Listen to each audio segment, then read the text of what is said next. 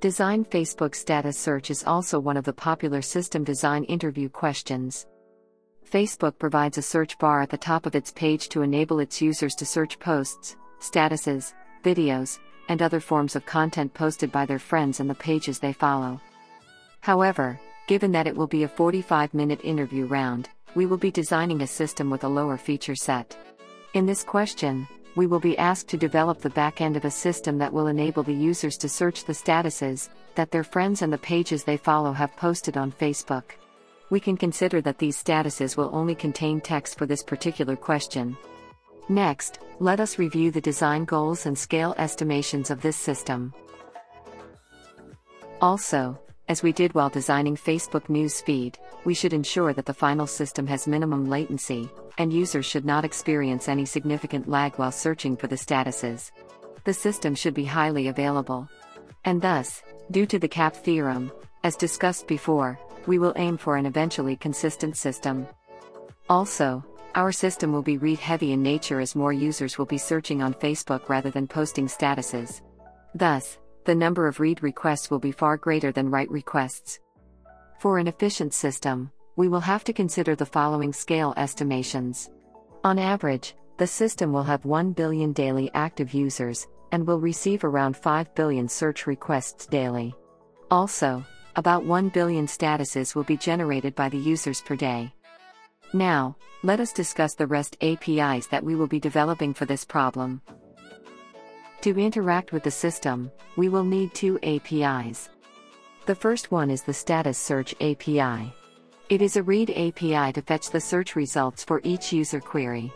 The client will send user ID, search query, maximum results to return, page number, as the request parameters. The second one is the Post Status API. It is a write API to post the new status and store it in our database. This API requires user ID, status content, as the parameters. At the high level, we will need to store all the statuses in a database, and also build an index that can keep track of which word appears in which status. This index will help us to quickly find statuses that the users are trying to search for. Some of the important questions that need to be answered in this question are as follows 1. How is the search index built for quick retrieval of the relevant statuses? 2. How to store and shard the search index, distributed across multiple servers? 3. What happens if an index server dies? How to rebuild the index, and create a fault tolerant design? 4. What happens if an application server dies? And 5. How to balance the load across multiple application servers, Following is a detailed architecture for this problem. Status search is a very complex problem, and thus we will discuss this design in great detail in one of our future videos. So, subscribe to our channel to get notified.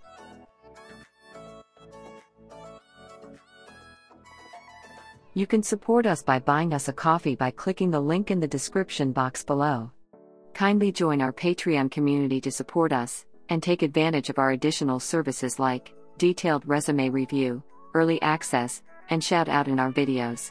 This video is part of the video series on system design interviews at Facebook.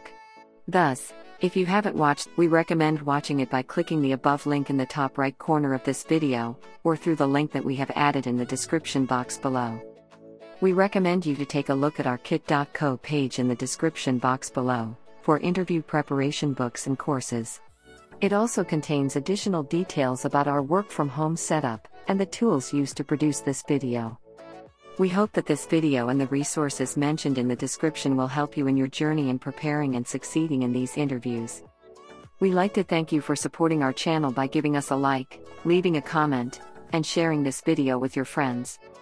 Also, subscribe to our channel and press the bell icon to get notified when we publish detailed solutions to each of these problems in our future videos.